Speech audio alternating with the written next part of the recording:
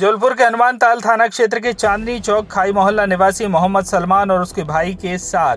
क्षेत्र के बदमाश नईम बकरी और उसके साथियों के द्वारा पिछले दिनों मारपीट की घटना को अंजाम दिया गया था। नईम बकरी के साथ उसके परिवार और 15 से 20 बदमाशों द्वारा मोहम्मद सलमान और उसके भाई पर ताबड़तोड़ हमला करते हुए गंभीर रूप से घायल किया था, जिसके बाद मोहम्मद सलमान और उसके भाई को इलाज के लिए जिला अस्पताल में कोरिया में भर्ती कराया गया था, पर वारदात के करीब एक हफ़्ते बीत जाने के बाद भी अभी तक दोषियों पर किसी भी प्रकार की कोई कार्रवाई पुलिस के द्वारा नहीं की गई, जिसके चलते मोहम्मद सलमान अपने परिवार के साथ जौलपुर एसपी ऑफ़िस जन सुनवाई में पहुँचा और दोषियों पर कार्रवाई की मांग की।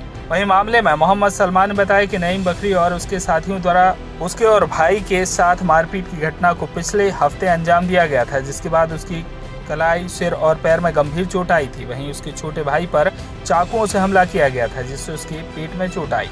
इसके बाद भी हनुमानताल पुलिस के द्वारा दोषियों पर किसी भी प्रकार की कार्रवाई नहीं की गई जिससे परेशान होकर जौलपुर एसपी ऑफ़िस पहुँचे और वहीं जौलपुर एसपी सिद्धार्थ बहुगुणा से पूरे मामले की शिकायत की और उचित कार्रवाई की मांग की है। हाँ। कहाँ से आए हैं और क्या मामला है? सर मामला ये है कि हम लोगों को जो है घर के ऊपर कोई विवाद था। तो उन लोगों से हमने बोले भी थे कि आप लोग अपना कागज़ वगैरह जो भी हैं दिखा दीजिए। हम लोग अपना कागज़ दिखा दिए रहे, उसके बाद भी वो लोग नहीं माने।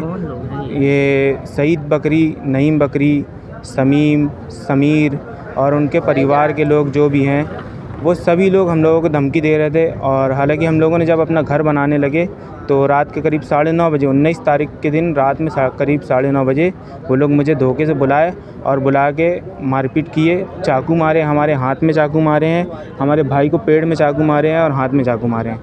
तो- कम से कम आठ से नौ लोग रहे उन लोगों ने घटना को अंजाम दिया है और हम लोगों ने थाने में भी एफआईआर दर्ज किया है। थाने में एफआईआर दर्ज होने के बाद वो लोग खुलेआम घूम रहे हैं कोई कार्रवाई नहीं हो रही उन लोगों के खिलाफ़।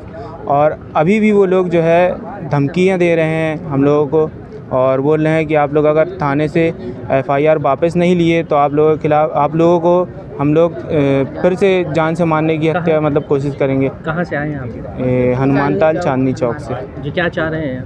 जी हम चाह रहे हैं कि उनके खिलाफ़ कड़ी से कड़ी कार्रवाई हो और हम लोगों को इंसाफ मिले नाम आप? मोहम्मद सलमान। जौनपुर से आशीष बाथरी की रिपोर्ट।